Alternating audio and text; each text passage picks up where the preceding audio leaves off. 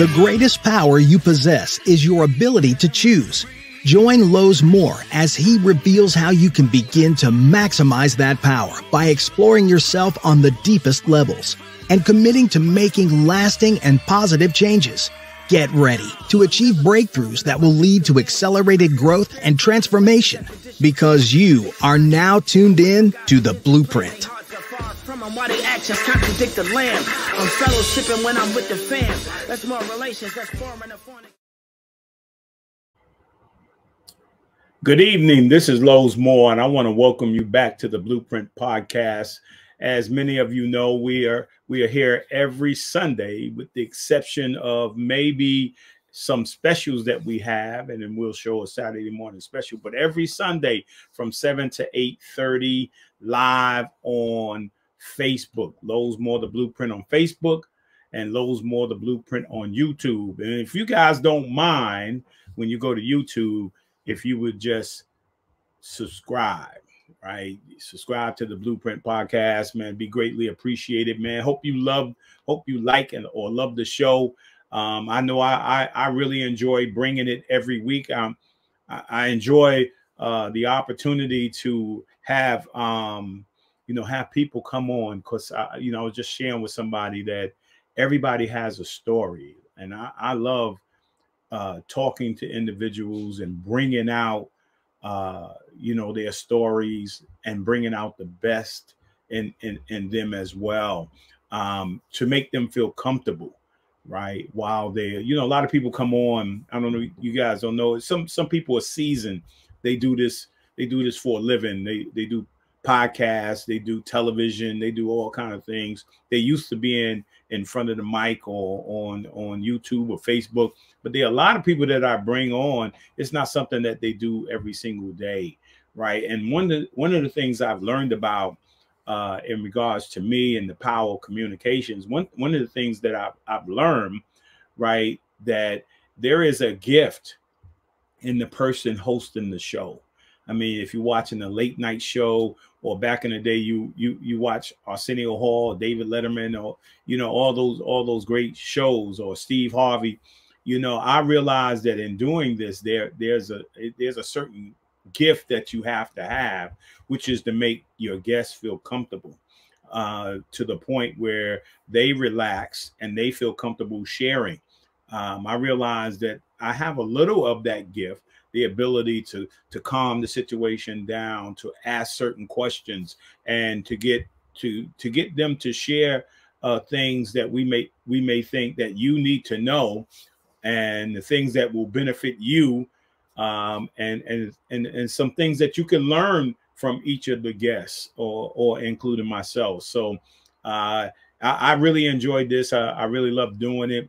You know, I love communication, and um, you know, I love seeing people grow uh, from one point in their life to the next point in their life. Um, and it's been my pleasure over these last few years. Now we're in our third season. Over these last few years, to be here during the course of this pandemic, uh, to help people relax, feel comfortable, and help them to manage to get through uh, such a tough time in all of our lives. You know, so uh, real, real quickly, let me let me just share uh, something that I had heard earlier today. Uh, one, one of my favorite speakers is Dr. Myles Munroe, And he was doing a session. I was listening. May he rest in peace. Uh, his his things are still relevant today. The, the messages that he shared on leadership and on kingdom are still relevant today. They're still important today. They transcend his life the things that he he taught over the years has transcend his life. Uh, you can use you can use those things today and tomorrow and for years to come.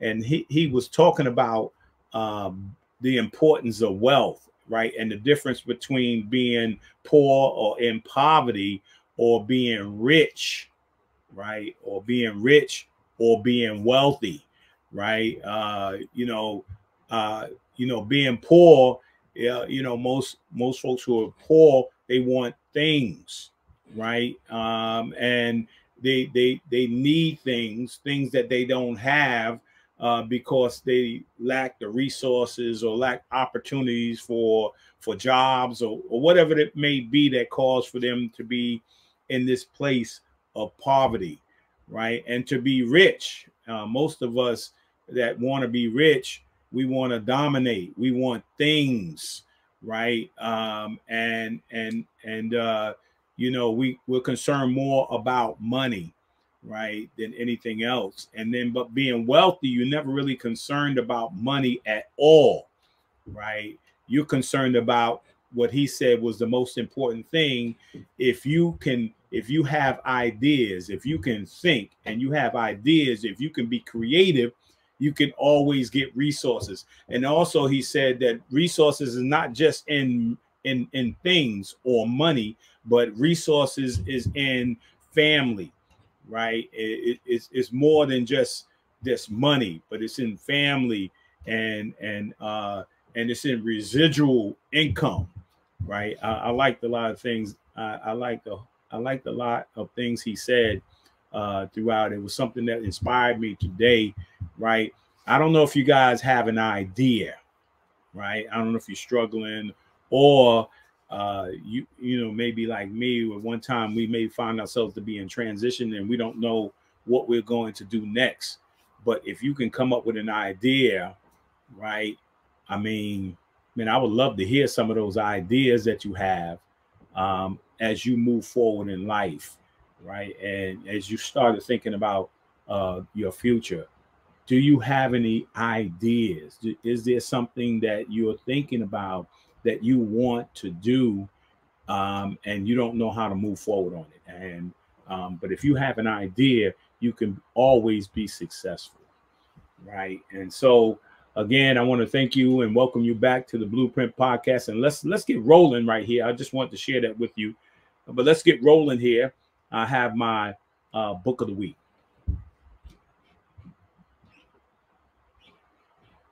All right. Uh, John Lucas, winning a day at a time. Uh, many of you won't know John Lucas. You see him there. He was a coach in the NBA.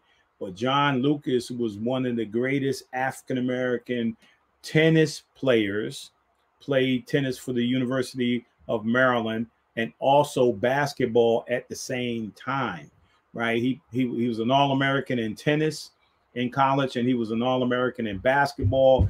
Got drafted into the NBA, had a an extensive career in the NBA, but it didn't come without problems, right? Uh, John John found himself in in some in some of the things that we're going to talk about tonight. He found himself in in some very addictive behaviors, and he he talks about in his book how he had to live one day at a time, had to, how he had to fight every single every single day, man, that just to be, you know, just just to be focused on on being able to do his job as a basketball player and as a coach. And every day he was battling with, uh, you know, uh, not not going back into di- addictive behaviors. And and John, you know, has helped thousands of people he started his own rehab center, his own addiction clinic. Um, and you know, I think he has one in Houston. I think he has has one in a number of places. He's still coaching, but uh, he he's seeing that he had problems, and he and being an NBA player, he was able to start a business uh, that would help people, and he's helped thousands of people. And I salute John Lucas tonight and uh, and and I thank God for him, right? That he didn't let that addiction overtake him, but he was working to overcome it. And so, if you didn't get a chance, it's an old book, right? You're gonna have to look that up. Uh, it's an old book, but it's a very valuable book to have in your library. And then next, we're gonna have our our word of the week, right? And you, know, I've been on a series here with these words of the week. Um, Earlier, I had the word love, joy, and last week I had peace. And of course, these are are the fruits, the fruit of the spirit, right? You notice it says fruit of the spirit, which means that the one fruit is love, and the manifestation of love, right? The attributes of love you see manifested in these other words. And I, and I keep saying that word manifest because that's one of the things that we have to learn how to do in our lifestyle. We have to manifest these attributes. So if you can, uh, if you can show that again, uh, this week's word is patience, right? We have to learn how to be patient, right? That's the word of the week. Patient, man. I know we don't. We want everything right now. We want everything instantly. We want to put everything in the microwave and get it hot right now, right? But some things just take time.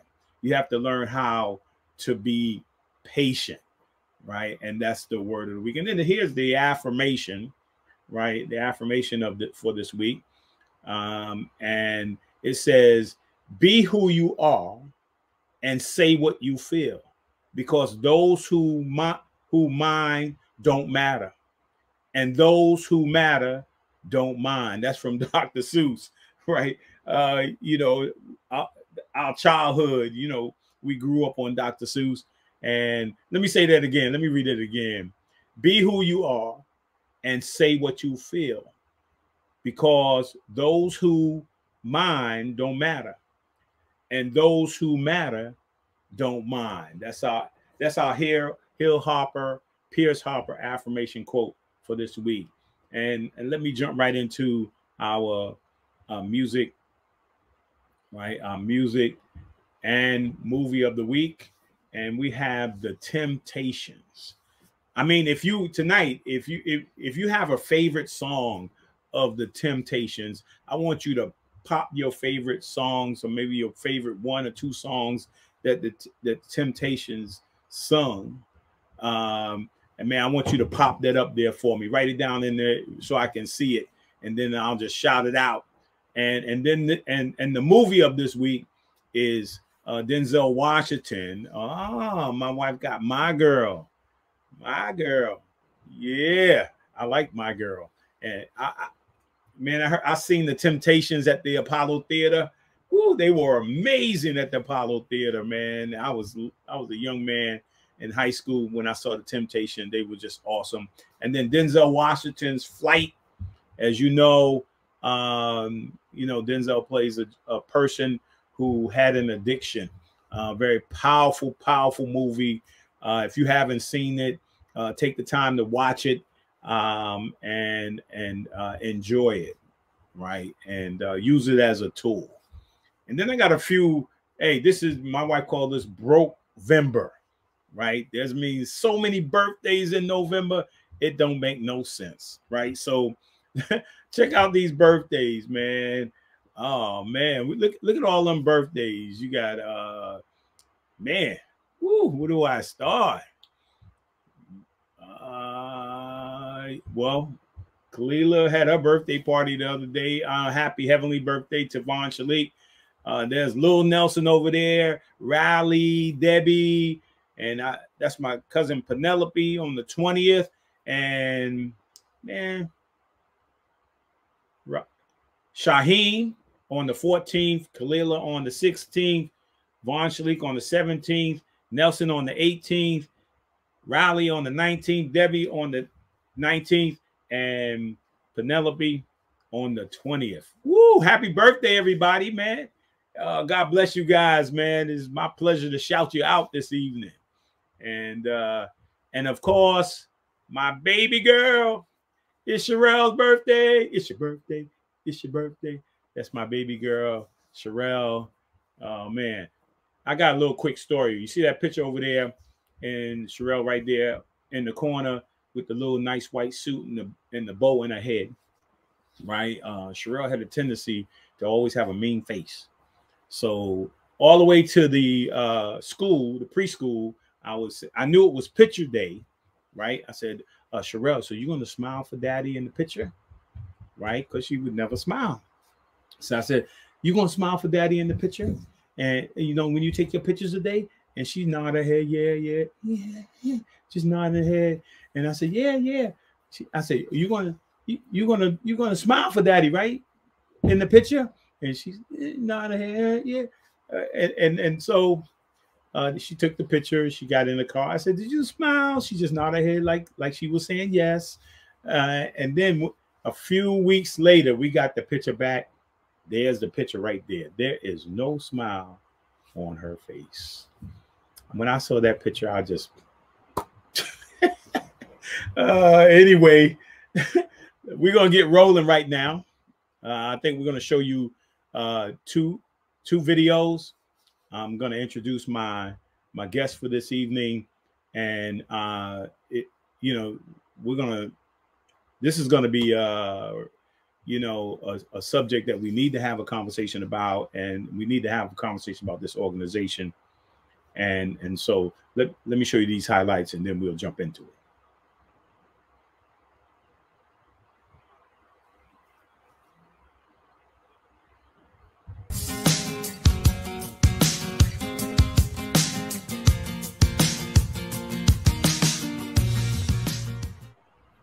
afternoon, everybody, and welcome to the 18th Annual National Council on Alcoholism and Drug Dependence Annual Luncheon. Uh, I know you're having a great time there at Molino's Lake Isle Country Club, and, and just want to say that uh, I want to also be one of those people who, who actually offers my congratulations and our thanks to the, the, the 21 counselors and leaders in your area and all across the country who are making a difference, who are helping folks. I don't know how to express my gratitude today. My gratitude that we are here together.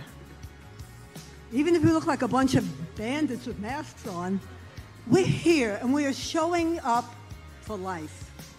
Uh, so I played. Um, eight years of professional basketball, and, and, I, and I loved it. And uh, one of the things, as I was writing my book, I realized that uh, I hadn't gotten over early childhood trauma, right? Being you know in your 50s and still have this residual effect that's in the back of your head. When I met Joan, and she took me around to see a couple of the youth programs, and I, I started to realize how powerful, uh, if I had had this program when I was a little kid, would, you know, come with these amazing stories and these amazing teachers, and, and, and they're talking to you and they're bringing something, you know, they're, they're bringing something out of you. And, and your support of those programs is going to be crucial. As Dennis just said, we're in a pandemic, right? And that's trauma all by itself. ADD. And if you mention that to people, they wonder, what does that spell? Well, it spells to me, and likely to you, hope. 22 years, December the 24th of this year.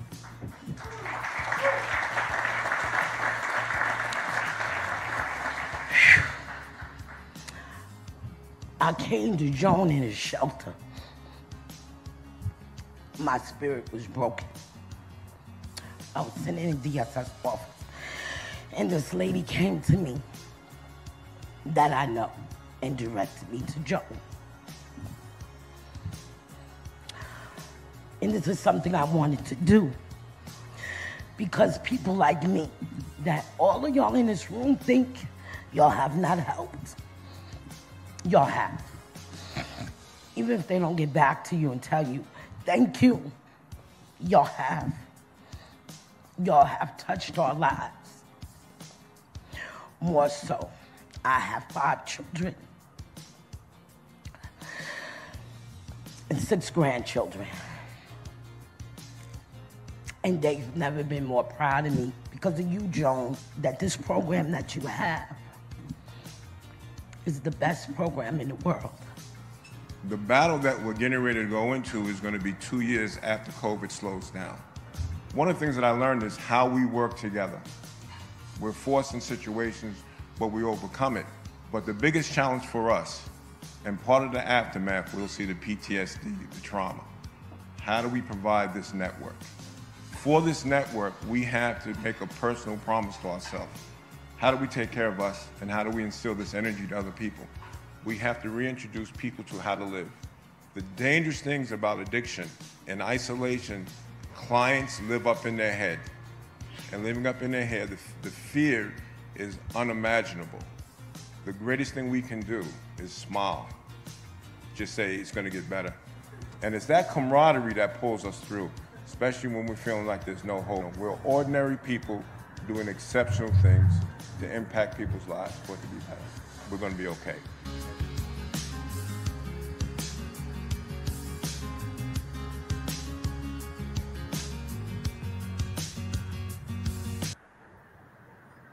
Awesome.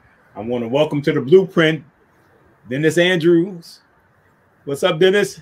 Hey, Lowes, how are you?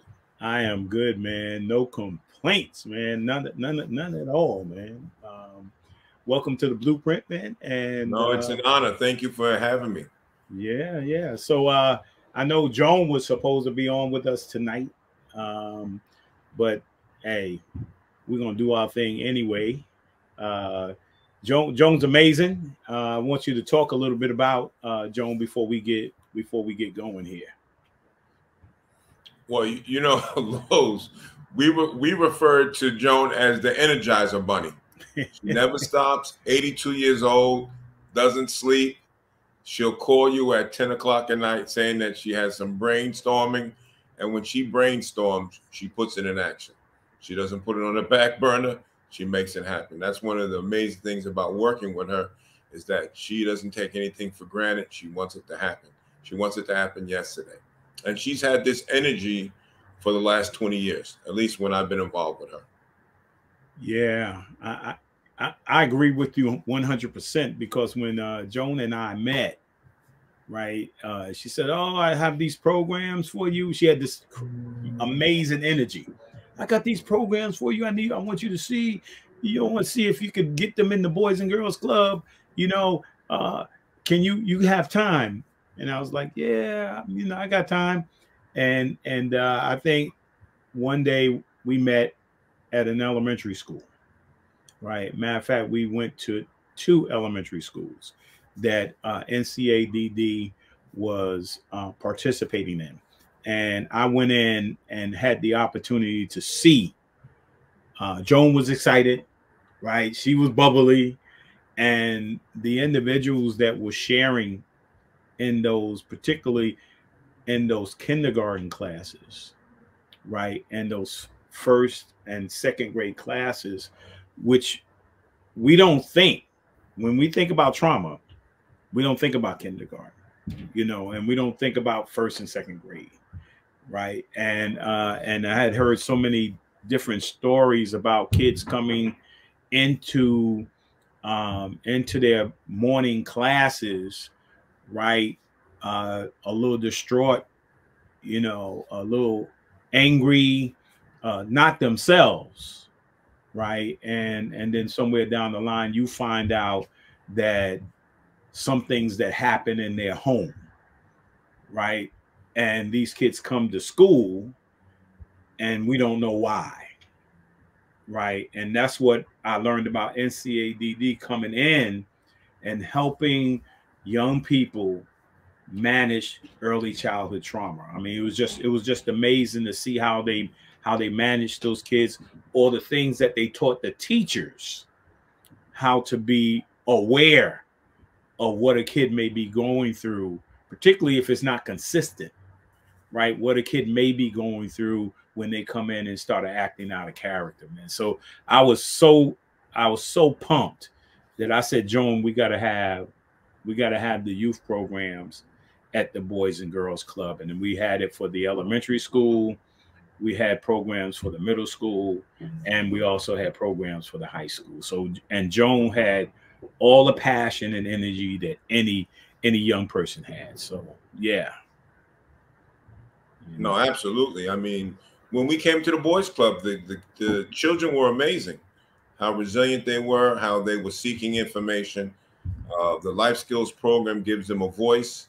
It allows them to process so they don't have to internalize everything and perceive life as just one way, especially if there's trauma, because that becomes progressive. And when we were at the boys club, I, I can actually I remember one uh, young lady, uh, probably no more than 10 or 11, around this time of the year, she said to me, Can you help me keep my father sober for Thanksgiving? And she was saying her biological father died from drugs. Her stepfather, she loved very much, but he drank a lot. And uh, I said to her, why don't you invite your your dad to watch a movie with you, but ask him to promise not to drink, to have dinner with everybody, and sit and watch a movie with you and your siblings without alcohol. And I remember coming back the next week, and she was smiling. She was saying, "You know what? He didn't drink on Thanksgiving, and he watched the movie with me and my brother." It's pretty powerful. You know, you, you make suggestions, and many of the kids were taking advantage of it. Uh, the energy, the resilience is so so powerful. That was one of the amazing things about the boys' club. The amount of energy those kids had, and the care that was there. Yeah, yeah, and I'll say this: uh, we're gonna we're gonna have more conversations about this.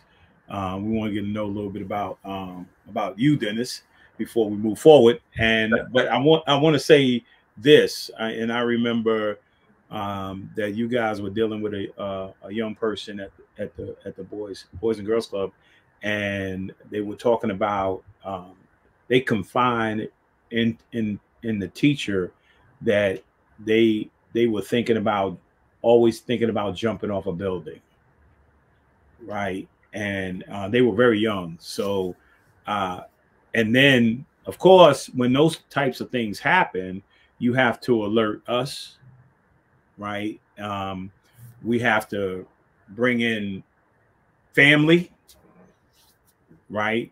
And we have to have a conversation with why this, why why your child is uh, saying these things. What's what's what's causing this?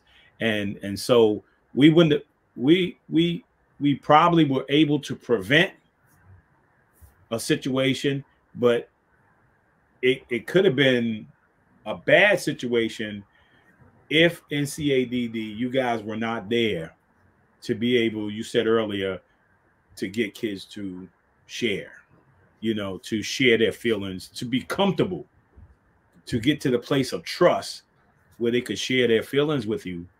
And we're able to get help for them as well. So very powerful. Yeah. So yeah, man, kudos to you uh, uh, to to Joan and to NCADD. I have to say before we get going, I, am a board member. You know, I was so impressed. Um, uh, you know, it's been tough for the, uh, you know, for since now that I you know retired, grandkids, stuff like that, uh, to be active. But uh, you know, I told Joan I wanted to be more active. But uh, I am a participating board member. We had a wonderful uh, gala uh, I guess about a month ago, right? Yeah. It was it was an awesome time. So uh, you know, thanks. I, I'm I'm I'm. It's my pleasure. It's a privilege uh, to to be a part of the organization. And my wife will help me out as well because she used to attend a number of things with NCADD as well. So, um, but let's get to know Dennis a little bit. So, uh, Dennis, uh, talk talk a little bit about you, yourself, man, where you grew up, and uh, family and you know uh you know because three you know three things that we kind of fo- try to focus on in the beginning is the importance of family importance of faith and the importance of education. So you know take us through your your journey. All right. Well thank you for inviting me on this journey. Grew up in mount vernon. Grew up in mount vernon across the street from longfellow school. Oh, uh, yeah. You know, Mount, Mount Vernon back then was an amazing place. Uh, you had a community that looked out for each other. Uh, I went to Longfellow School for a little while, uh, struggled a little bit in, in, elementary school. My parents put me in uh, Catholic school. Uh, I went to Catholic school, then went to Catholic high school in New Rochelle. And, you know, what was so great, great about Mount Vernon, I can tell you, um, I would see Ray Williams, Gus Williams. These guys would be at the park. I'd watch them play. They were, you know, it was just everybody knew each other. Uh, it was a great place to grow up. Uh, one of the st- stories I always share. Um, we all used to go to Fourth Avenue to shop. Everybody bought their clothes on Fourth Avenue. I had right. to be. I had to be about uh, twelve or thirteen. I have a twin brother. We go up to the avenue, and uh, my mother was had a good relationship with Denzel Washington's mother, Mrs. Washington. And I remember one Saturday I didn't speak to her because I was trying to be cool, trying to say hello to a young lady. And before I got home, Miss Washington had already called my mother and said the chubby twin didn't speak. So my mother got me on the phone. I had to call Miss Washington to apologize. I had a little bit of an attitude. My mother told me it wasn't good enough. She told Miss Washington he's walking up to the house and he's got to apologize in person. I walked up to her house. I thought she was going to be easy on me. She said, "What are you going to do next time you see me?" I'm gonna I'm going to say hello, Ms. Washington, and she held me to it. That's how that's how Mount Vernon was. Everybody knew each other. It was a city where we took care of the kids. You couldn't. They didn't want us to fail. I remember watching you play. You went to school with my sister Cecilia Andrews. Mm. You guys were in school together. That's my oldest sister. I have a twin brother. I have uh, two sisters. My oldest sister passed away a few years ago, Denise, and actually Denise uh, went to school with Denzel. They they were friends. So everybody knew each other. Uh, great community to grow up with and uh, watch you playing basketball. Would sneak up to the boys' club to watch the games. Uh, Fourth Street, we played. We had fun. Uh, it was just a great atmosphere. Everybody knew each other. Uh, when I got to high school, I played high school basketball uh, in a private school. Played in the tournaments. Was scared to death to play against Mount Vernon. you know, was, was lucky that we were a small school, so I didn't get, I didn't have to play Mount Vernon. But growing up in Mount Vernon was amazing. Went to Marist College, got a bachelor's degree in police science, got my MSW from Fordham University. Uh, been working in the field for 38 years uh, as a substance abuse counselor. I'm a licensed social worker and a master CASAC. And I was remembering what you were saying. I worked for Westchester Community Opportunity Program uh, for about 26 years. And then it came a point where they got rid of the substance abuse programs. And I found myself for the first time in my career unemployed and got involved with trying to open up a small team practice in New Rochelle that I'm still involved with and started teaching. I teach at uh, Mercy College. I'm the director of their CASAC program for undergrad and graduate, and I teach for NCADD. I'm the dean of their academic program for their CASAC to become certified counselors, our accelerated program, our Saturday program, and our evening program.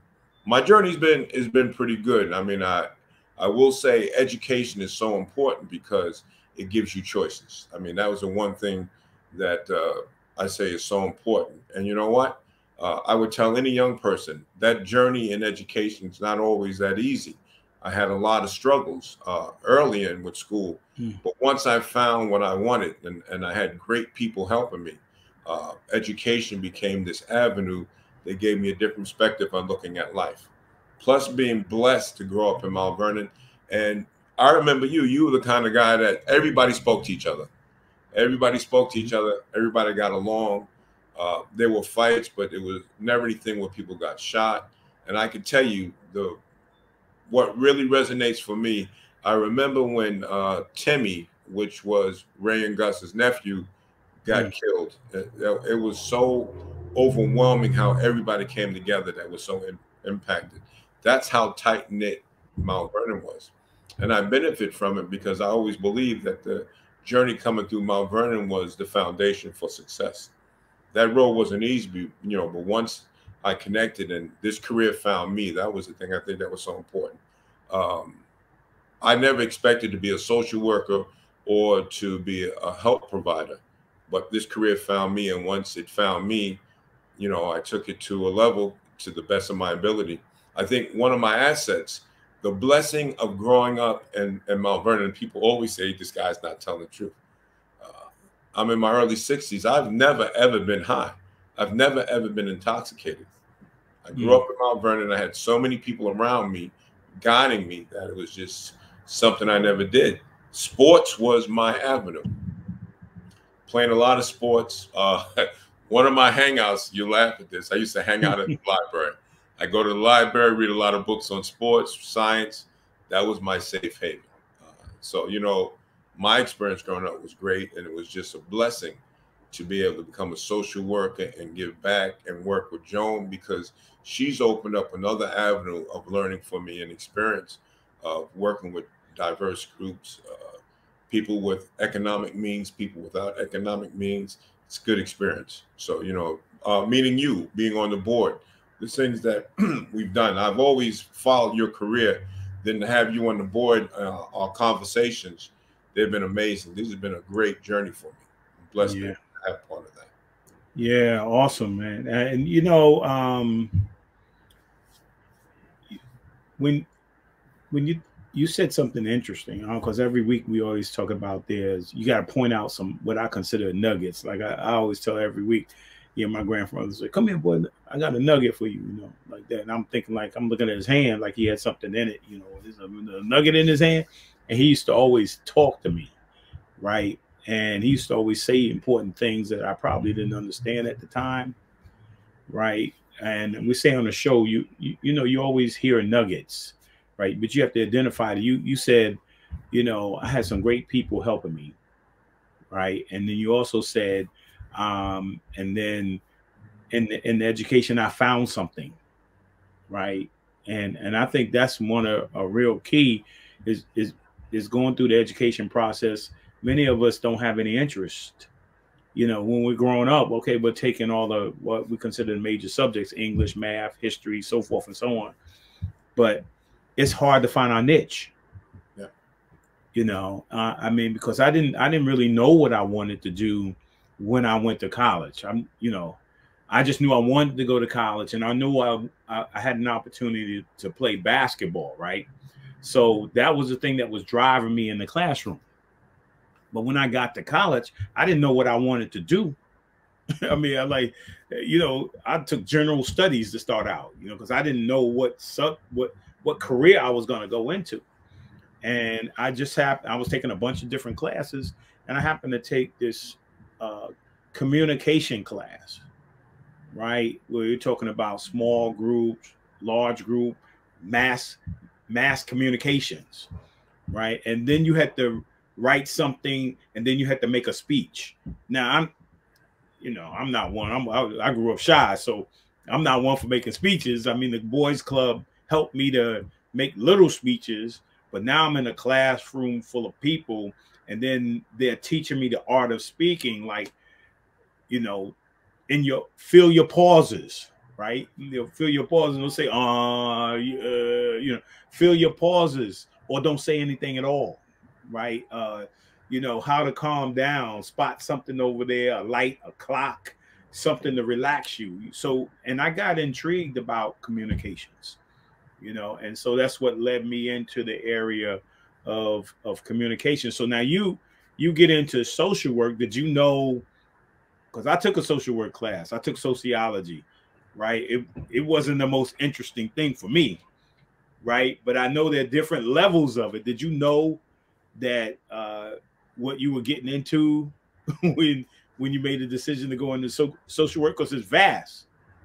Um Lowes, honestly, uh, my undergraduate degree in police science, right? I interviewed with uh, Border Patrol, FBI, and, and all DEA, and I realized, and I was devastated. I said, I spent four years on this degree, and I realized those weren't the things I wanted to do. And the truth about social work, I, I was invited to an open house uh, at Adelphi. And uh, like I said, my role wasn't easy. I took a class at Adelphi. Social work did not grab me. I was like, you saying I was going like, wait a second, this is kind of boring. I'm I'm not sure, and I didn't do well. Adelphi didn't ask me to come back, but I went to Fordham to an open house, and you know, if you talk about spiritual exchange, there was a woman there because I called there right after Adelphi told me we don't think you're social work material, and uh, I called there and I guess I had fear in my voice. So when I went to the open house, this woman looked at me and said, You know what? The look on your face, you sound like this guy who called here last week who was afraid. and she said to me, Is your name Dennis Andrews? And I was blown away. I said, Yes. This lady actually grabbed me by my wrist, walked me over to the registrar's table, and said, There is no such thing as failure with education. It's learned experience.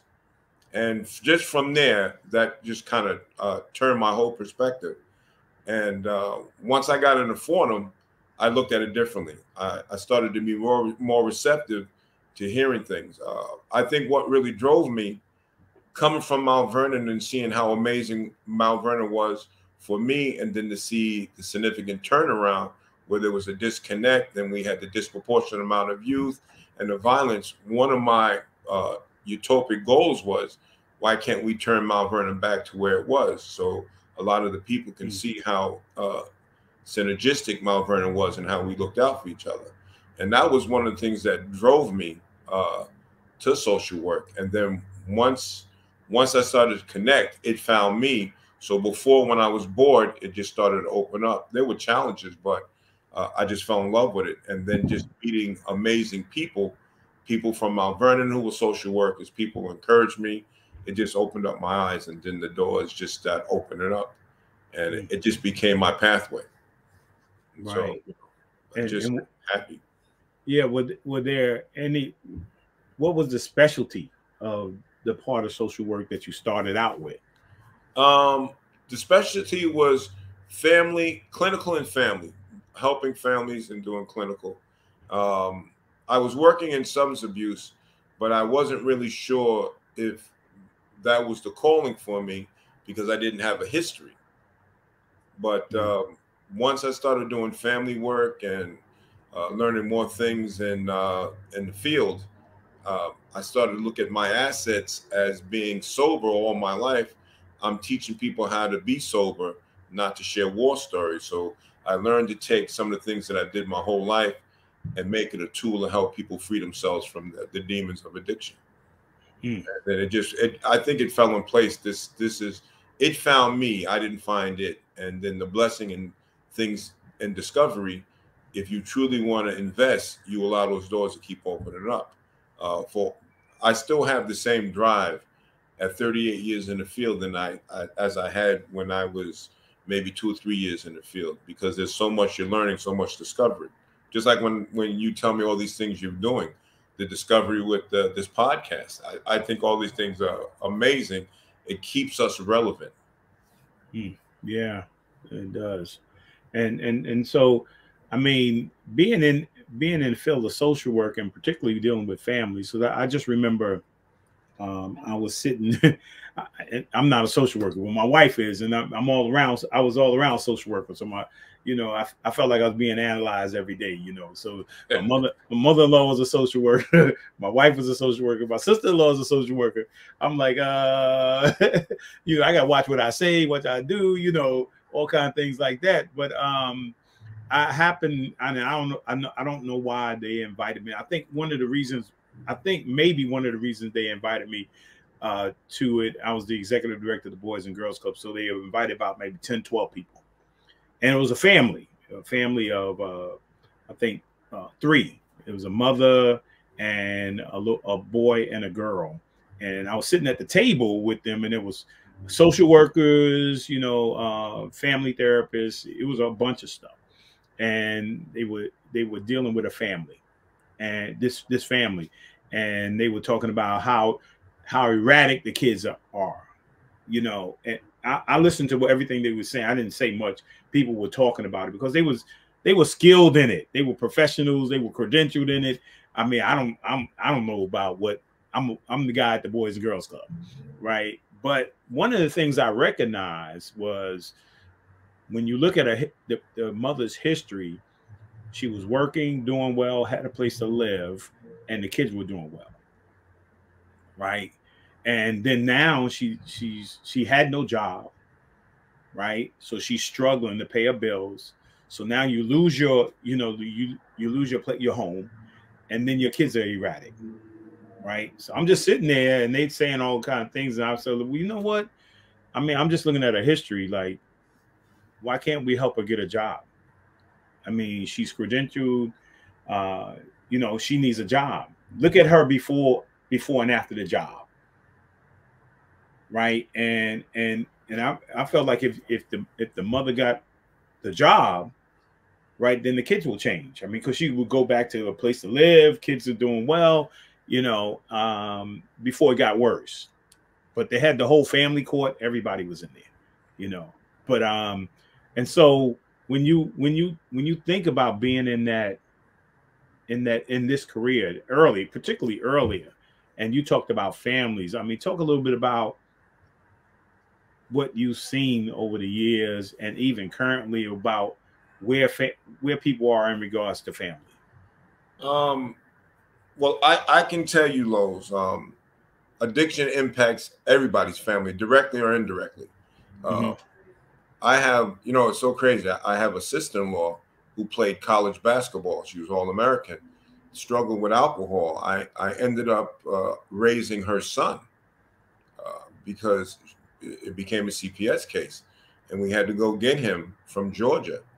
And um, the tough part about the dynamics of addiction, this was a 11 year old uh, young boy who was having anxiety attacks trying to take care of his mother. And one of the things I had to do, seeing it in the family, I had to teach him how to be a kid and to relax and not have anxiety attacks and set his set his eye on the prize. And this is a young man who talked about, Uncle, I always want to run track.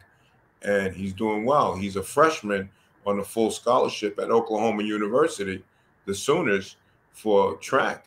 So when it's in your family, you know, you can't run from it. You want to do the best because this is a devastating illness. The impact it has can be multi generational, and you've seen it. You you saw at the Boys Club. You guys did so much.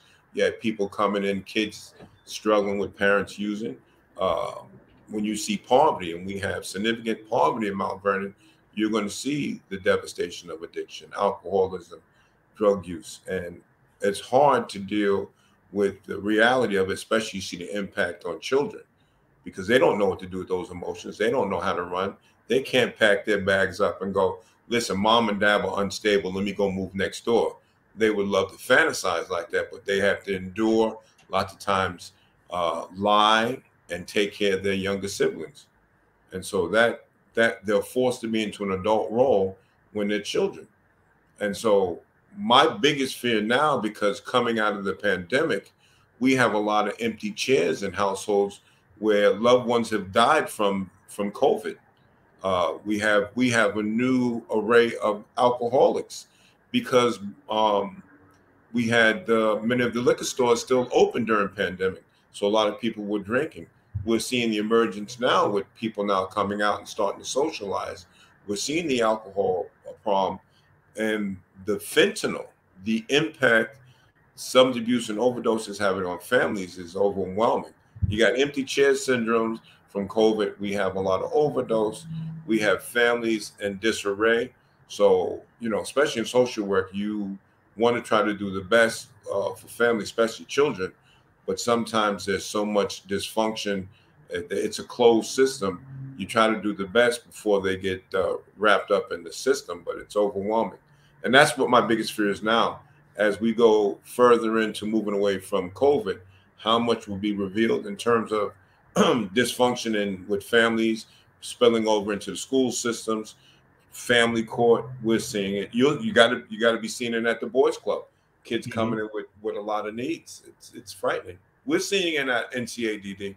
We're getting calls, families needing help, and it, it doesn't discriminate. It doesn't discriminate whether you uh, have economic uh, disabilities or you're affluent. It crosses the spectrum.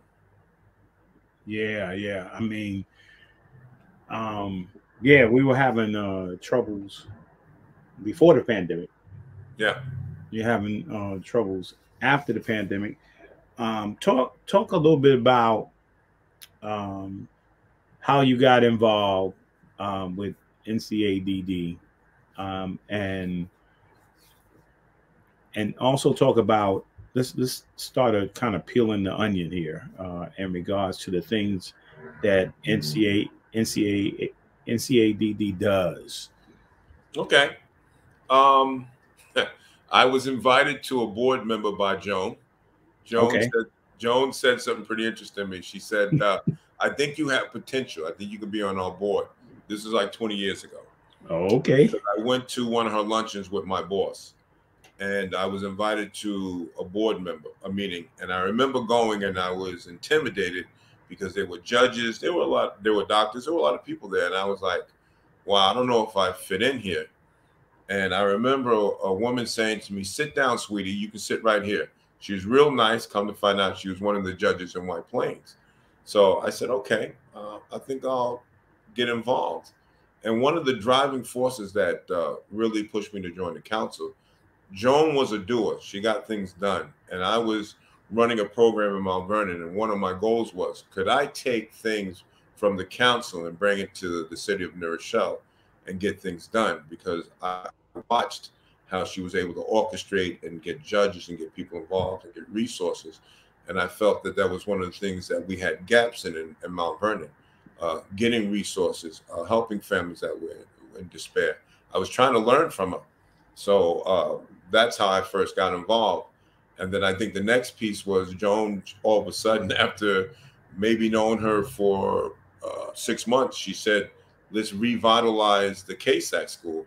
And I was telling her that we don't have enough time. And she was going, that's not acceptable. So we started putting the school together foundationally in April, and she had that school open in September. And I was mm. just blown away how she was able to uh, facilitate it and then get it going. So those are the things that drove me into the council. What could I bring back to uh, communities like Mount Vernon to make a difference with, uh, especially the kids? And it was it's been a, a 20 year learning process. The council has been amazing in terms of what we offer now. We just recently were approved from New York State for opioid prevention. We do opioid prevention education and provide Narcan kits.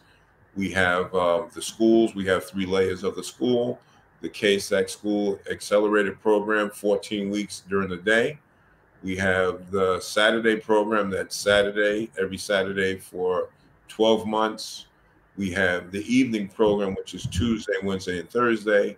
That's about 10 months, six to nine. And we have the recovery coach slash CRPA program, where we're getting people to become recovery coaches and peer advocates. We're also looking to add or expand our children's programs and some more sites in Westchester.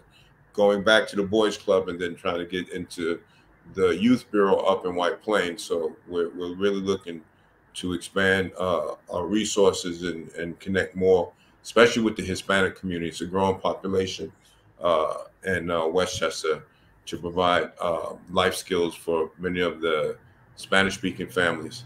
Uh, so she's really uh, branched out. And I believe for 2023, we're looking to do some more outreach work with veterans, some of the displaced veterans who have drug problems, some mental health issues, more prevention education and uh, uh referrals. But uh, pretty much that's a, a, lot of the things we, we do there. Uh, go, we've been going into the, the Catholic schools, speaking to uh, a lot of the young ladies, and this was pretty interesting.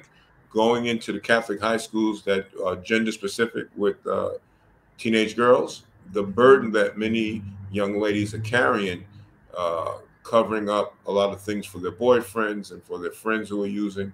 So we started to provide some uh, leadership for many of the young ladies who are caretakers, not so much using, but caretakers for many of their friends that are using and their boyfriends. And Joan has been doing that for a while. Yeah, yeah, definitely. And um, as I, as my wife was saying, that uh, we were uh, Arms Acres was blessed to have a CASAC school on the site before the pandemic. Yeah. Right. Uh, yeah. Um, yeah. I, I, don't think that uh, you know people understand what that is. I mean, when, you say, okay, well, we offer these school things, you know, what what does that mean? What does that take uh, in terms of you know the education or the training part of it? What what is that? What is a CASAC?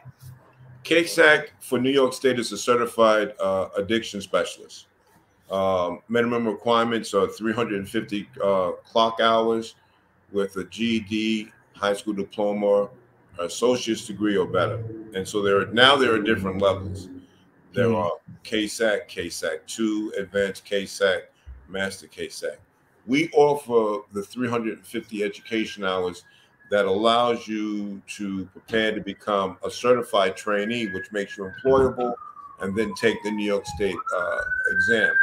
Mhm. Uh, you have to acquire 6,000 hours of field work, and that's where relationships like Arms Acres, um, Arms Acres has been great to a lot of our students. They get uh, internships there, they get hired there.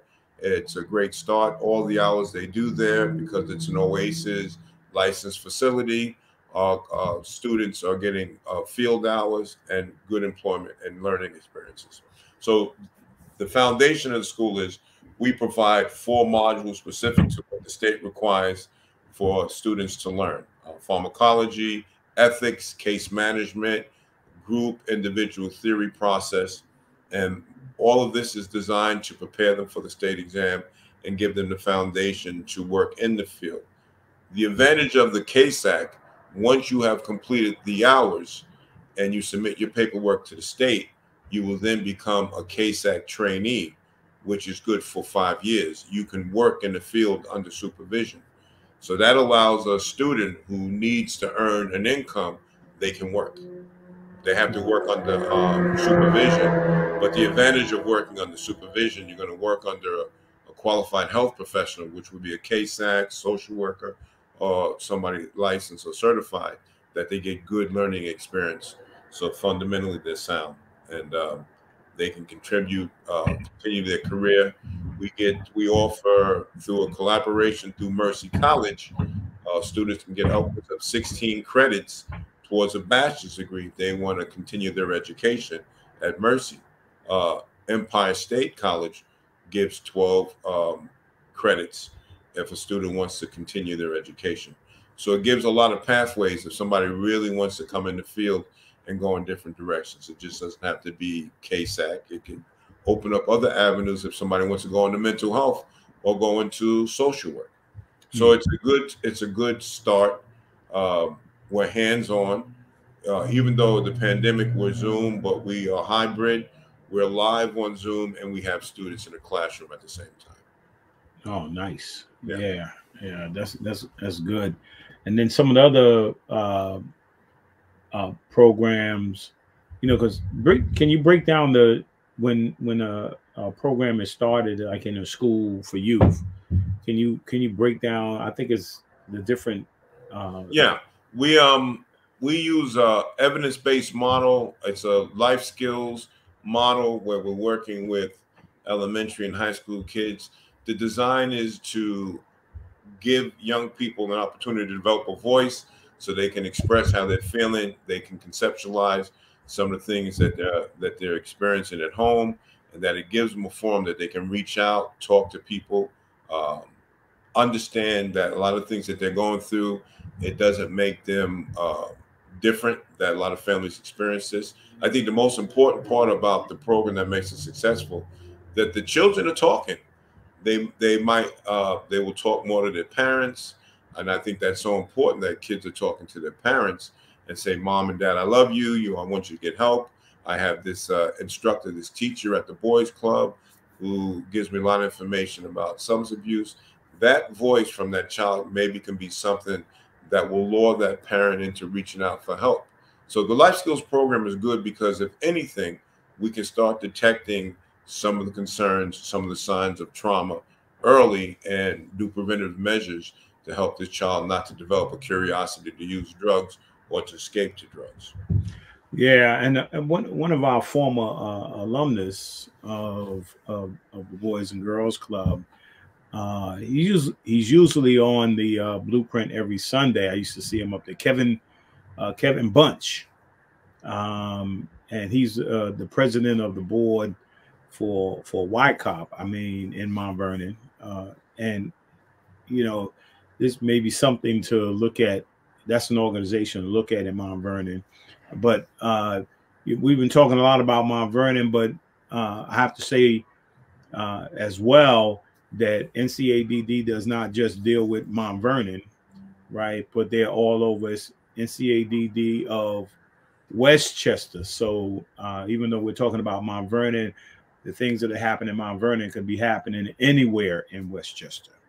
Uh, so I wanted to get that out there. And I've been uh, able to attend uh, over the years a number of the conferences that uh, had before the pandemic. A lot of amazing uh, workshops, a lot of amazing speakers on on on on this issue. This is a very very serious issue.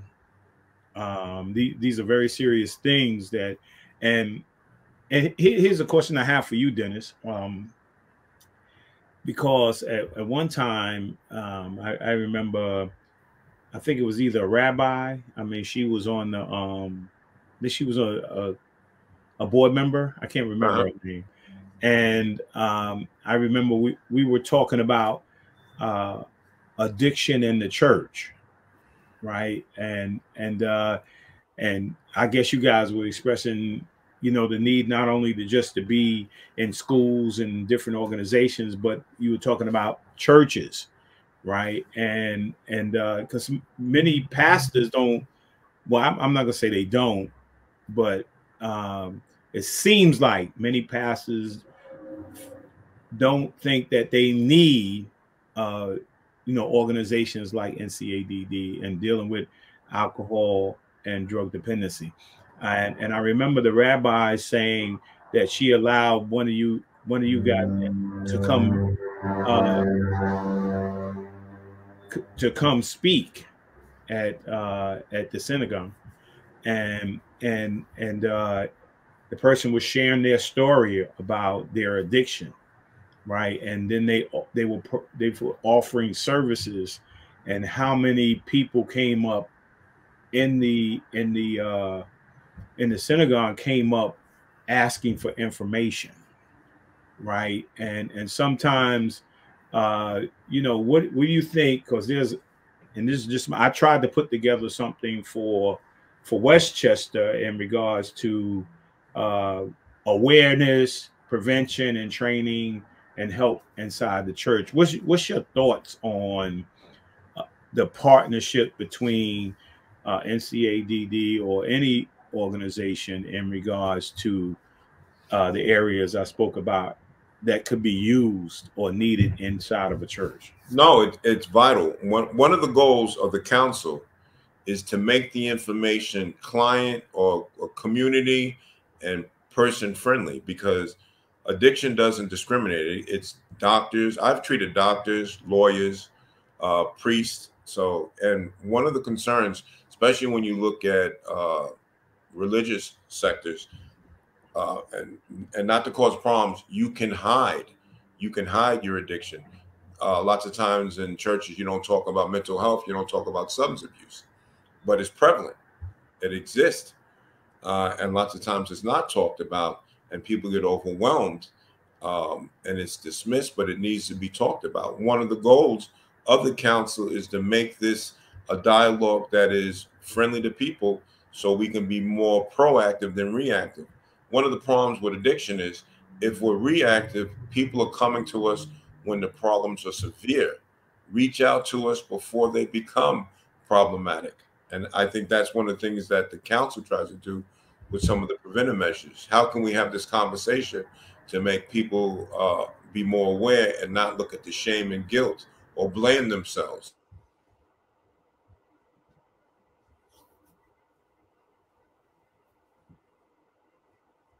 was like Dennis got a little froze there. Um, yeah, um, I mean, this. I hope we can get. Uh, we're having a little technical difficulties here, and hopefully we get uh, Dennis back in a, in a moment.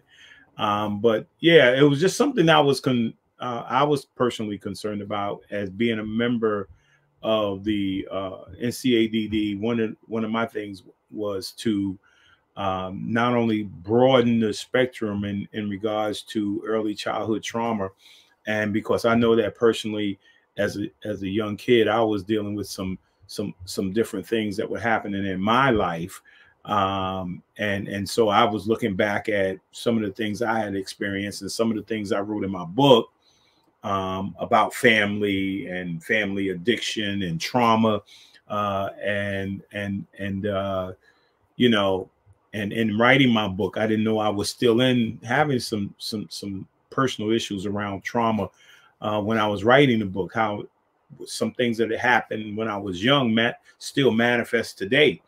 And I, I was thinking like being an elder in the church, being a minister in the church, being a member of the church, uh, being in an executive director that goes to church, or just a church member. Um, everybody comes into comes into churches, right? Um, I think we all come in, uh, you know, because we all want to grow spiritually, right? Uh, same way as as we go to school, right? We we go to school so that we can grow educationally. Uh, we go to the gym and work out, and and and we work out because we want to grow and we want to get stronger physically, right? Uh, so uh, you know the thing is, we go to church so that we can grow spiritually, so it impact us mentally, so it impact us physically as well, and vice versa. And and so I was just thinking when I was doing NCADD that uh, how it could impact my boys and girls club and the young people who come to the boys and girls club every single day. I seen the impact that it had on uh, elementary schools. I seen the the impact that it was having um, in in middle school, and I seen the impact that it was having in, in high school. Uh, being able to communicate with kids and get them to express how they were feeling. Uh, and then I started thinking about, like, as a minister into the church, sometimes we do preaching, like we're preaching, um, but some people that we are preaching to, they may have uh, a problem with addiction. They come to the church and and they hear the word, they hear the word of God, and they may be a member of the church, um, but that that sometimes that doesn't necessarily solve their problem. So they come there and you know it's like we get this fix we feel good for a moment but yet we leave out the door and we're still having these behavior problems. We're still having these addictive behavior problems.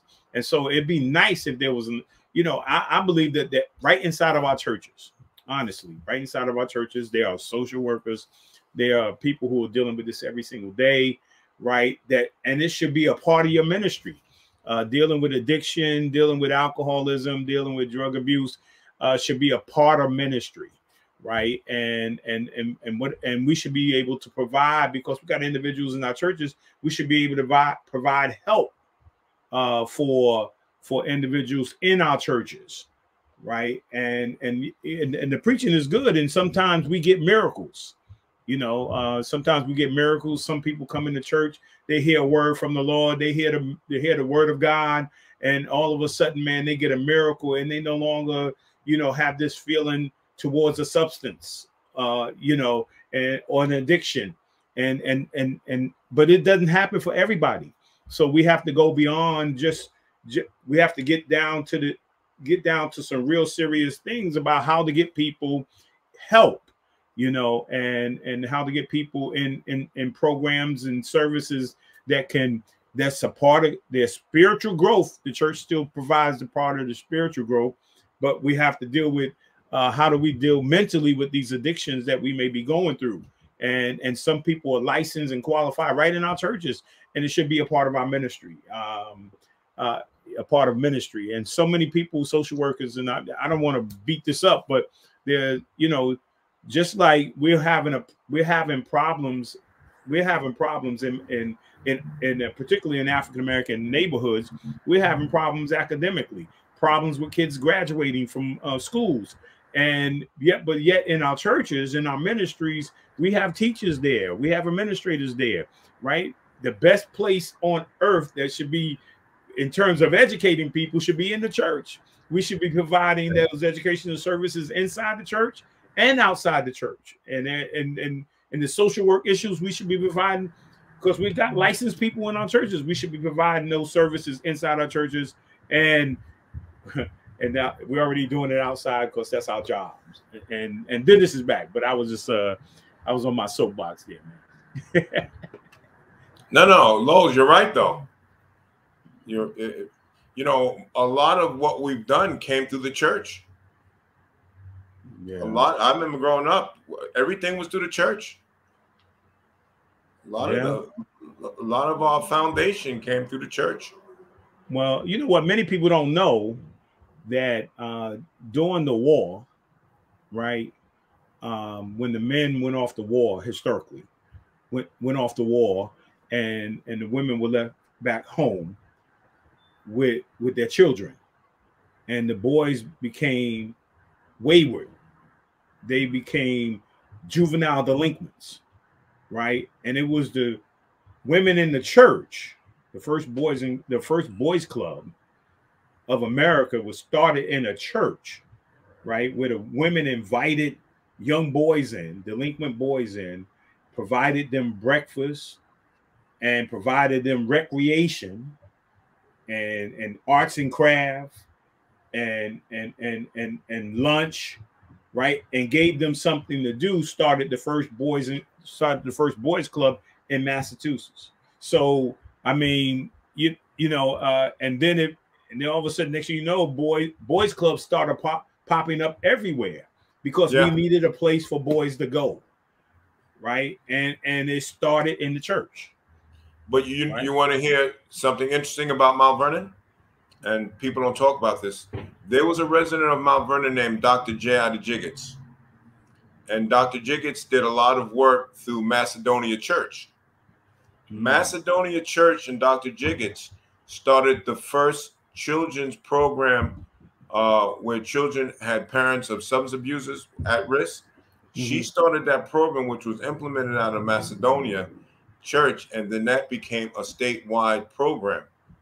That was started in Mount Vernon by a, a social worker who lived in Mount Vernon, out of the church. A lot of those programs came out of the church. Awesome, man. Yeah. And, and and another thing is many people don't know that the boys club of Mount Vernon started was started by the first Presbyterian church in Mount Vernon. Yeah. They, they were they were the biggest supporters of the boys club uh, back in the day. It started with the church right? And I think in this society, it needs to restart with the church, right? so, uh, but I mean, you know, NCAD, NCADD, and and Dennis, um, you guys are doing an amazing job. You know, one of the things that when you're trying to help people who really struggling, man, you can't always get the help necessary. So I want to say, I mean, is there um, if somebody wanted to donate uh, to NCADD, if somebody wanted to get information about NCADD, what what where would they go? What would they do? Um, um, they actually could call the they can call the 914 949 um, 8500 telephone number. We have the website. They can go on the website. But one of the reasons why I would encourage them to call because we always have somebody in the office that would uh, give them a lot of insight and what they can do because people call often to ask for help or to make a referral or to want to make a contribution and we've set up some scholarships uh, recently for we had a board member who overdosed from from pain meds so we set up a scholarship in sydney white's name and so you know uh, anybody who wants to get further information or just struggling they're welcome to come by uh, 250 on White Plains, we have a young man who's uh, 45 days sober. He just comes in and we working from there. You know, we're trying to get him into school. Uh, what's great about where the office is, it's not just the National Council. We have uh, meetings. We have AA meetings uh, there all day. There's another segment of AA meetings. You have the Loft, which does a lot of support work for LGBT gay uh, groups. So there's so much going on where we are. So it's almost like a shopping mall for help. Mm-hmm. And so I just tell people if you're not sure, just call us. If we don't know, we'll, we'll refer. Um, in terms of detox, things like that, uh, rehab, uh, your wife has been instrumental. She's helped us. We've got not only students to work there, but we've gotten people there for treatment. And so Arms Acres has been a hub uh, when I was in the field, we used uh, for years. So you know, those are the blessings. Yeah, yeah, that's awesome, man. Yeah, I mean, I was just thinking like we're we're coming up on, you know, one of one of the you know one of the times that is I'm excited about is this season. I've always been excited about this season, but um, because it's about giving, it's about Thanksgiving. I mean, you know, it's it's about family, you know, but it is some sometimes in these seasons they become very tragic in these seasons because you know people have lost loved ones. Um, people are going through loss. Uh, you're still managing the pandemic. There's so many crazy things going on right now. Um, and you have to be able to know if you're hurting that there are places you can get help. You know, um, and and NCADD is one of those. Our churches is you know always our churches uh, uh are there. I mean, and and uh, yeah, this this is just a a crazy season. And so talk about uh, Dennis and what it looks like in the future uh, for you and and and NCADD, man. What or or what do you imagine, man? That uh, you know, what, what's what's you know, I, I said be a little creative and think about like think outside the box and think about how we can, you know, what you would like to see. Uh, honest, the honest truth, uh, Lowes. I've talked to you about this uh, before. Um, I haven't really made a lot of plans for the future because I believe my foundation is solid. Wherever I'm supposed to end up, it's part of God's plan, and, and I'll end up there. But one of the things I had said to you before, because I'd like to grab onto you and pick your brain, because you always give me good stuff. And um, I've always admired how you carry yourself and the things you've done. Um, I would love to start a movement just to get people to be okay with being human and being okay in their skin. Um, and I, I, think it's so important. Uh, how do we help people just reconnect with being people, uh, smiling at people? I remember being in the store the other day playing playing the lotto, and there was a guy in there, man. He was in bad shape, and he was asking for money. And I said, "Listen, man, I'll buy you an energy drink. I'm not going to buy you some beer." And I said, "You need to get off the streets. It's cold out here. You don't have any shoes on." It's just some of the words we need to say to people the, the human connection. I would love to see a movement where we have people mentoring and giving back to young people. Our young people are so lost because they don't have the connection I had with older people. Had a lot of respect. You know, I laugh because I remember Denzel being in my sister's band. They weren't that good, but I had so much respect for them being older than me. You couldn't be disrespectful. So my mm, sister it was a oh, sing, it was a singing group. Yeah, they were singing group, man. They weren't man, that good. You they know, he, he actually told he actually was talking to me about that. He said, "Man, I used to sing." I'm like, "Oh, come on, man." Yeah, he was. listen, Mo. So the next time you talk to him, that was in the garage of my parents' house across from Longfellow. And uh, but what made it so powerful? We had a level of respect for the people older than us, and they gave to us. We stopped passing knowledge to the young people. And if anything, what we need to be mindful of, the 21st century brings on nuances that we're not even aware of technology. We've lost a lot of blue collar jobs because of technology. We have to prepare our children to be successful. You talked about generational wealth. We have to instill in them how to navigate what's coming in the future, being proactive. And just if, what I would love to see with the council more collaborations with more communities all over, not just Westchester. Uh, working more with other uh, agencies. We have great relationships with Arms Acres. I would like to see more collaborations and synergy with with other uh, help providers so we can provide more services. I think, if anything, I would ask people, and I know this is tough. We can't always look for money. You gotta you gotta give. You gotta be willing to volunteer time. People did that for me which gave me a future. It can't always be about I got to be paid for my services. The rewards of seeing somebody doing well is a lot better than that uh, 20 or 30 dollars you're going to put in your pocket. Because people always come back and, and smile and remind you of that word that kind word that maybe stopped them from saying today's the last day of me living. That the smile or uh, Lowell saying something to me made me reevaluate this whole concept of living. And we got to get back to that. I would love to see in the future that we just start spending more time caring about people and not being so divisive. Yeah, I, I mean, I actually was, um, you know, somebody was asking me about uh, the difference in times of, you know, us growing up and and growing up today. You know, I, I can't really remember uh, in the boys' club uh, yeah, there were there were paid workers, probably part time workers, not many full time workers. But I can remember the men working there. They didn't work there; they volunteered there. You know, they came home after their job, right, and they came to the boys' club, and um, you know, and and and uh, and we don't have enough people are more concerned and and you should be without 100% you should be. I was i was too. When we have kids we have young people today we have kids right and we have to not only be concerned about our kids but they got we have kids out there that don't have anybody. That's what i love about the past because those men had kids right? But they took the time to say something to me and to stop me and maybe mentor me right? We don't have the privilege, and particularly as African Americans, we don't have the privilege to say, "I'm just going to, I'm just going to worry about my kids, and I'm not going to worry about nobody else's kids," you know. And, I think that's what you're talking about today. And you know, I, I always had a problem in the in the Boys and Girls Club, but later, later in my in my career, was that you know everybody that I'll give you an example. Uh, my sister uh, was a part of the dance organization and also the cheerleaders.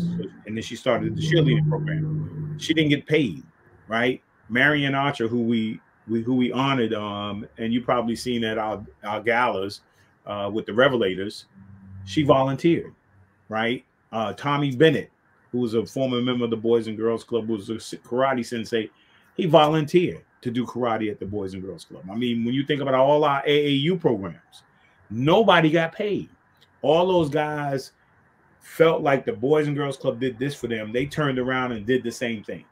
Yeah. Right. And so we don't know what volunteerism is anymore. Right. Uh, people don't know how to give back anymore. They just everybody said with a handout, you know, okay, hey, hey, you know, pay me, man. You know, and we're not asking much time, but if we're saying like, look, hey, give us an hour. I think my wife had a question up there yeah, she had put uh, a question up in regards to CASAC and college credit, which is a good one.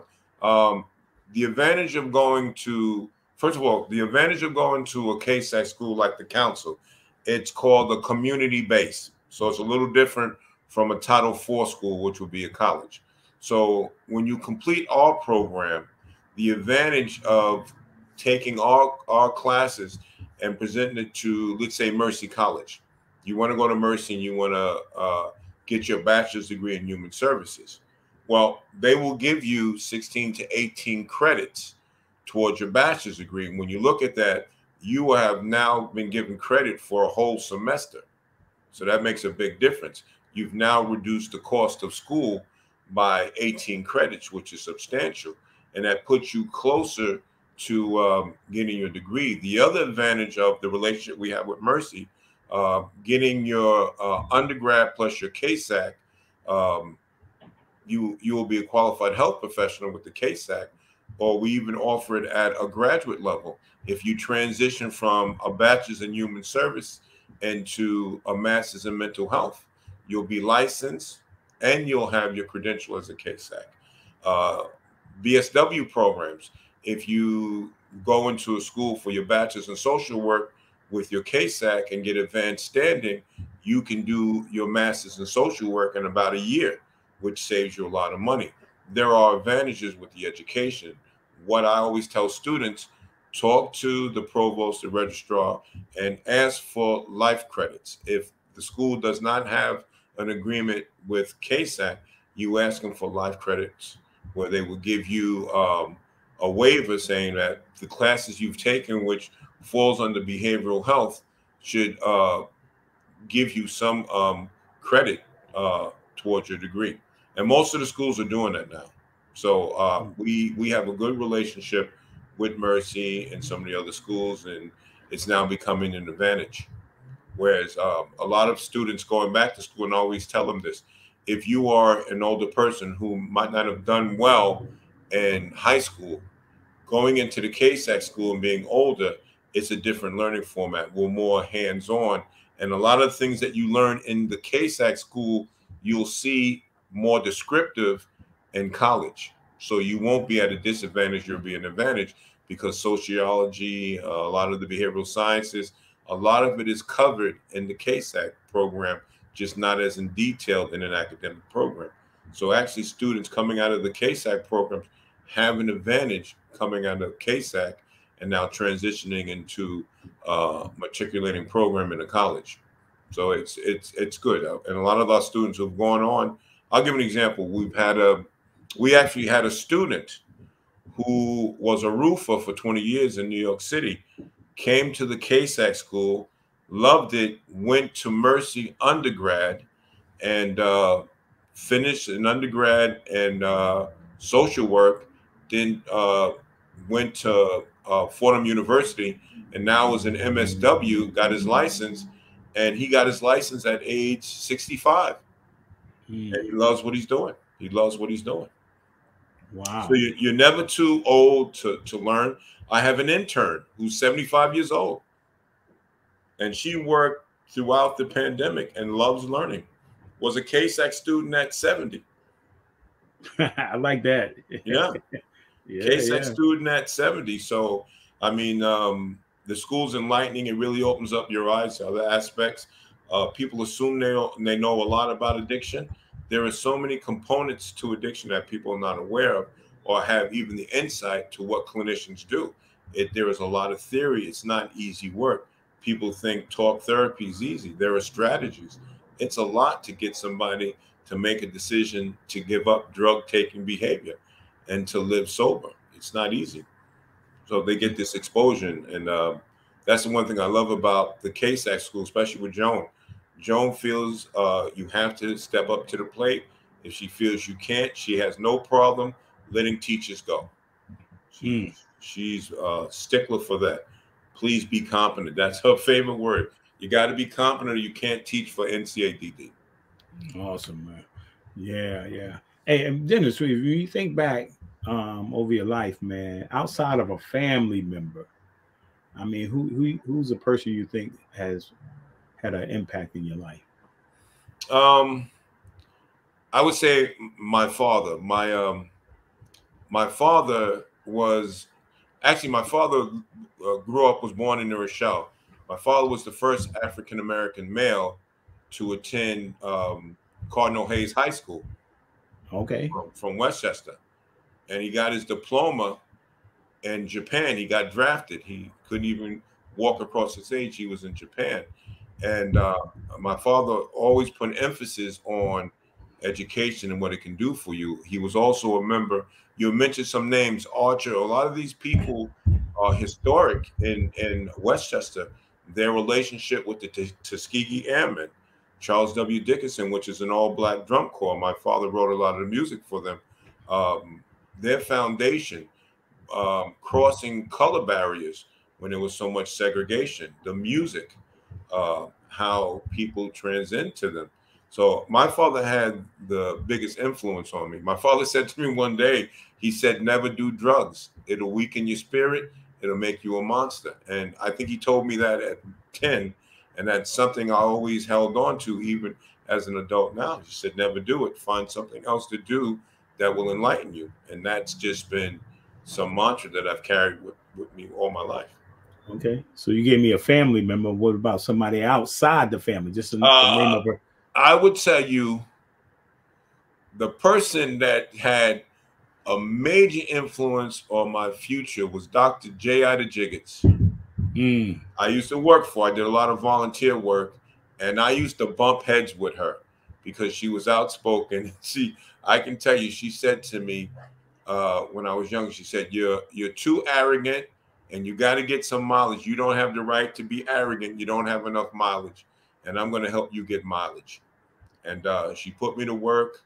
Uh, I learned a lot from her. Uh, I'll share the story, and God rest her soul. Uh, I I cleaned up her basement one time in her house. It was an amazing place. The the books. She was an African American woman who was a social worker who did her PhD, her her studies in Israel in the mm. 50s. She wrote a book. It's called Black Black Social Work in Israel. So I go in the basement, I'm cleaning stuff up, and I see a stack of her books.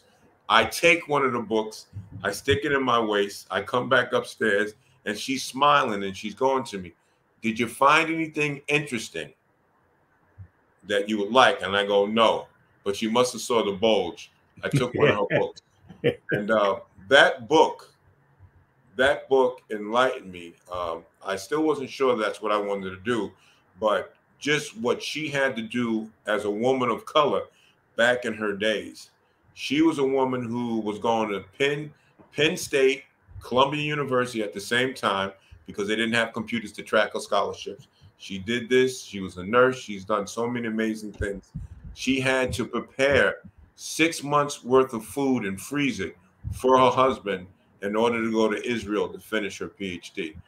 That drive to me is amazing, especially with the obstacles she had to endure during mm. a period of time that she, she, was growing up.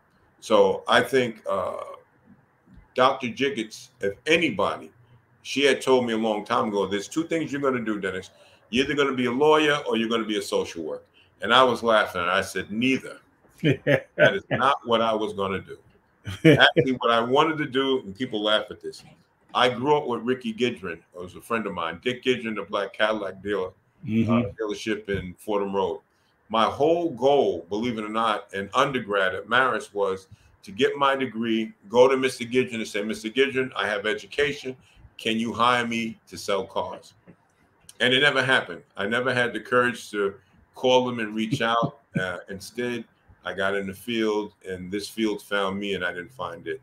And uh, I've been blessed ever since. I've, I've had great role models. There, has been amazing people um, in Westchester that we don't give enough credit to that's made a difference in my life. Dr. Wow. is one of them. The black mayor, the first black mayor of Mount Vernon, lived on my block, Mayor Blackwood. Mm. And uh, he kept it real. He was tough. And yeah. so I, I, I'm I'm blessed to be influenced by some of these people. So real quick, because uh, we we we we're ending here, and uh, I got, but I gotta I gotta get you to tell me uh, something. Tell us something quick about the because uh, what is a recovery coach? Real a quick. recovery coach is is a person who's experienced uh, substance abuse or alcoholism and um, now becomes a mentor to people who are struggling with addiction. Uh, they go through the training is about um, eight weeks. They become certified. The next piece is 17 hours of ethics, which makes them uh, CRPA, a certified parent advocate. The advantage of uh, a CRPA and a recovery coach, they're mentors. They're working with people who are struggling with addiction. They are an asset to clinical staff because they can accompany people to meetings, they can talk to them, they self-disclose. They're in the they're in the emergency rooms of the hospital for people coming in with overdoses and concerns. They are a fellowship and a friendship to people with addiction. Okay, and then finally, um, the final final question is first of all, I want to say thank you for coming on, man, taking time out your busy schedule. Thank you. Um, and what would you say to uh, a young person to encourage them to stay away from uh, you know the evils of this uh, between drugs and alcohol. What would you have what would you say to them? The amazing thing about being young is there's discovery there's there's youth there's energy. The dangerous things about drugs and let's put it on drugs. Drugs are something that it can mess with the most important organ in your body which is your brain if you do damage to your brain, you are messing with with sensory perception that gives you insight to what life is. And the dangers about addiction is it could be one time or a thousand times.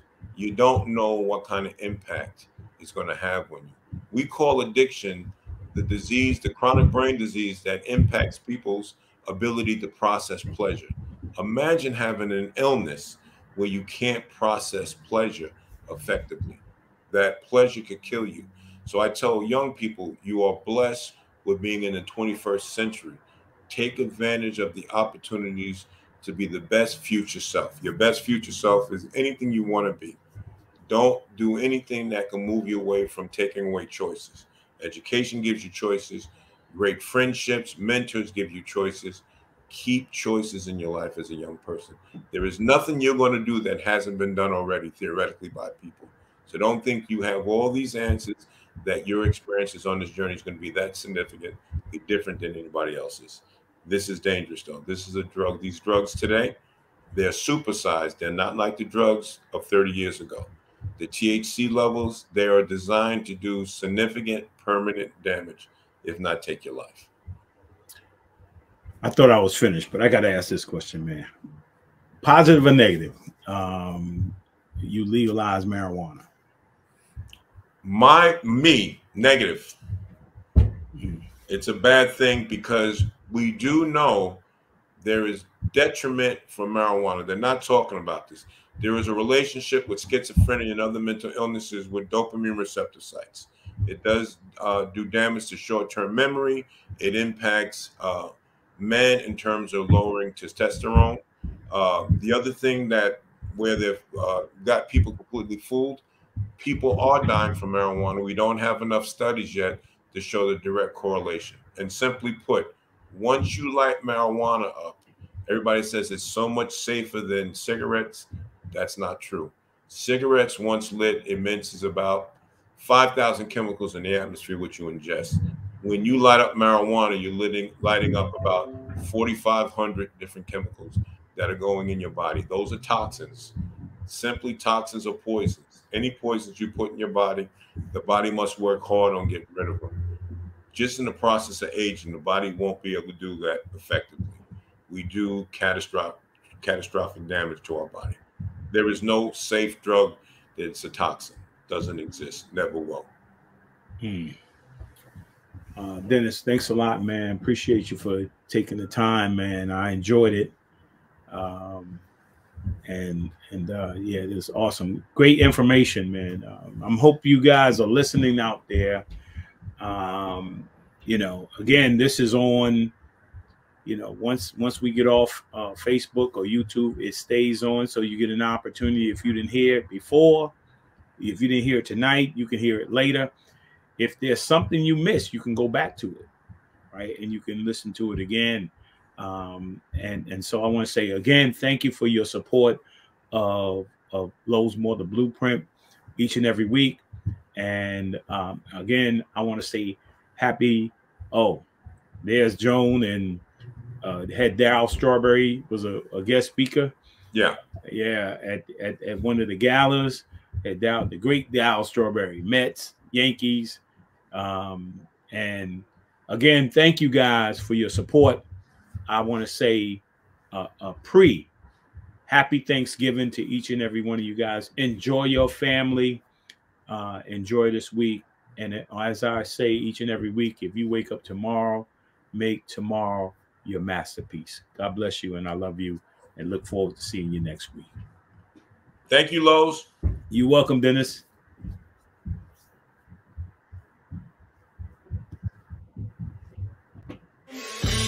We really hope you enjoyed this episode of Lowes Moore, the Blueprint Podcast. Stay connected and follow us at our website, www.lowesmore.com.